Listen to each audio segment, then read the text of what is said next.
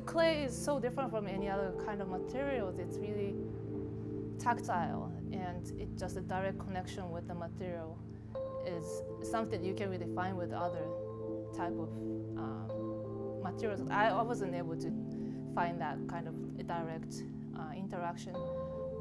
I don't make things to own them for myself. So some, because some artists, some makers are really attached to their items.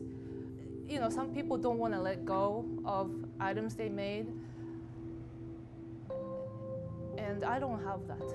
Um, I want them to go, really. I want them to go outside of the studio and to be used and to be seen by other people. Yeah, like when I do a show, that's that's the that's one of the reasons. It's it's because the item, the object I make, start to have its own life. It's I it's kind of my responsibility to show so they can go out there, out the door of my studio to the world.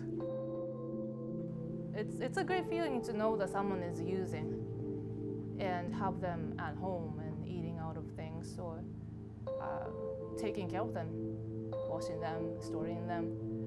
Um, I am working on a series of vessels and the collection is called At Dawn. It is called At Dawn because it's the time in the morning before everything starts. It's the time when I feel that no one is watching and I'm free to do. Um, it's free to dream, free to think about the future. It's, it's, it means the beginning to me. And it's, it's a quiet time to be with yourself, really. Like, I like spending early morning to just write things.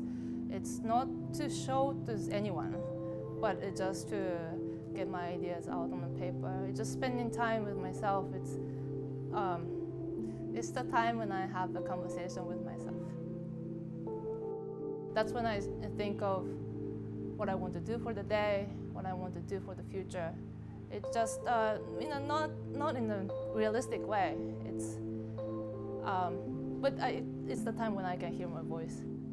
A Japanese ceramic artist, Shoji Hamada, once said, a good bowl has its inside bigger than outside. This is the kind of feeling I want to create with pieces At Dawn. It's something expanding from inside outside.